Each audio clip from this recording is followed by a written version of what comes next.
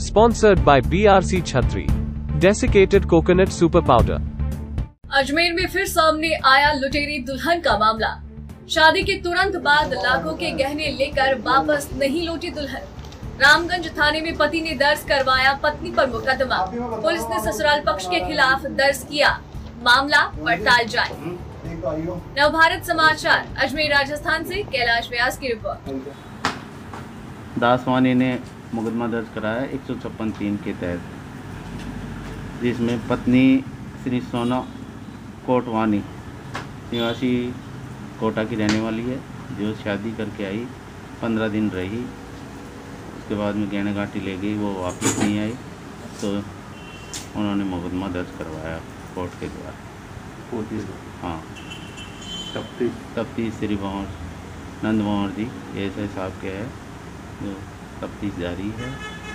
मैंने किस दिनांक को शादी करी थी इससे? देखना पड़ेगा।